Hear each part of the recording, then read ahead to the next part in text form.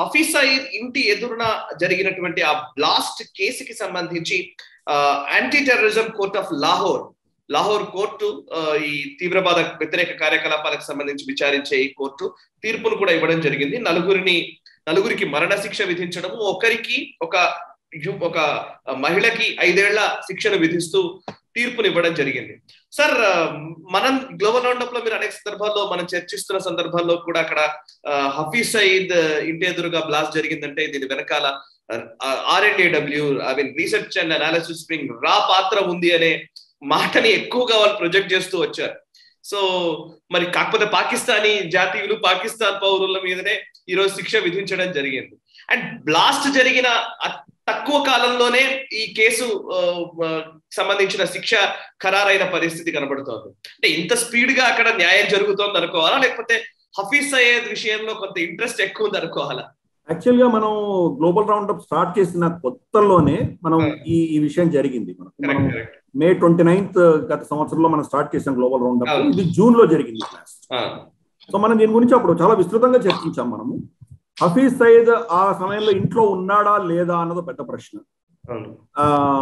అప్పుడు లేడు అని చెప్పి వాళ్ళు చెప్పారు. జైల్లో ఉన్నాడు ఇక్కడ జరిగింది అని చెప్పారు వాళ్ళు. కానీ తర్వాత మనకు తెలిసిన విషయం ఏంటి? యాక్చువల్గా ఇంట్లో ఉన్నాడు. హఫీజ్ సయీద్ అన్నవాడు ఎంత ఎంత పెద్ద అసెట్టో వాళ్ళకి మనకి ఈరోజు అర్థం చేసుకోవచ్చు. ఆరు నెలల లోపల వాళ్ళు మొత్తం దాని ఇన్వెస్టిగేషన్ అయిపోయింది దాని ట్రయల్ అయిపోయింది జడ్జిమెంట్ కూడా వచ్చేసింది. కానీ హఫీజ్ సయీద్కు వ్యతిరేకంగా మనం భారతదేశంలో జరిగిన టెర్రరిస్ట్ యాక్టివిటీకి సంబంధించి మనం ఎన్ని డాసియర్స్ ఇచ్చినా గత పదేళ్ళుగా అతని మీద ఎటువంటి చర్య తీసుకోలేదు. ఫట్ ఆఫ్ వాళ్ళ మీద ఆంక్షలు విధించినా కానీ కూడా హఫీజ్ సయీద్ని అరెస్ట్ చేయకుండా వాళ్ళు ఉన్నారు అని చెప్పి మనం ఫట్ ఆఫ్లో ఎన్నో కంప్లైంట్స్ ఇచ్చాము. అంతటి ప్రెషర్ ఉన్నా కానీ కూడా పాకిస్తాన్ హఫీజ్ సయీద్ని ప్రొటెక్ట్ చేస్తుందంటే హఫీజ్ సయీద్ వాళ్ళకి ఎంత అసెట్టో మనం అర్థం చేసుకోవచ్చు. ఆరు నెలల్లో వాళ్ళు జడ్జిమెంట్ ఇచ్చారు. మనం కాంట్రాస్ట్ చేసి చూస్తే కనుక మన ముంబై అటాక్స్ జరిగినప్పుడు మనము ఇక్కడ ఎవరెవరైతే ఆ పది మంది వచ్చారో వాళ్ళ పేర్లు మన అజ్మల్ కసాబ్ పేరు ఇవన్నీ పెట్టడమే కాదు. పాకిస్తాన్లో వీళ్ళకి మద్దతుగా ఎవరెవరు సాయం చేశారో జకీవుర్ రహమాన్ లక్వీ లాంటి వాళ్ళు ఇతరత్ర ఐఎస్ఐ ఏజెంట్స్ వాళ్ళందరి పేర్లు కూడా మనం ఎఫ్ఐఆర్లో మనం లాడ్ చేయగలిగాం. అంటే వాళ్ళ మీద ఈరోజు ట్రయల్ చేయలేకపోయాం. ఎందుకంటే వాళ్ళని అరెస్ట్ చేసి మన దగ్గర తీసుకురాలేదు కాబట్టి. కానీ ఎఫ్ఐఆర్లో వీళ్ళ పేర్లు ఉన్నాయి. దీనికి కాంట్రాస్ట్ చేసి చూస్తే హఫీజ్ సయీద్ ఇంటి ముందు జరిగిన బ్లాస్ట్లో రా హస్తం ఉంది అని చెప్పి వాళ్ళ national security adviser Moeed Yusuf statement ఇచ్చాడు అప్పట్లో. కనీసం ఎఫ్ఐఆర్లో వాళ్ళ పేర్లైనా మీరు రాశారా?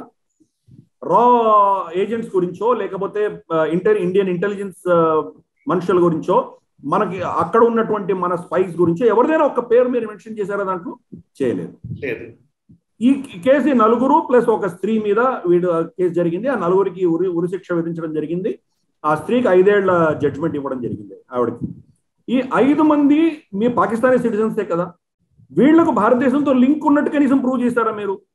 చేయలేదు. అంటే మీరు ఎన్ఎస్ఏ ఇచ్చిన స్టేట్మెంట్ తప్ప అంటే ఏం మీకు చిత్తశుద్ధి ఏమున్నది ఇక్కడ?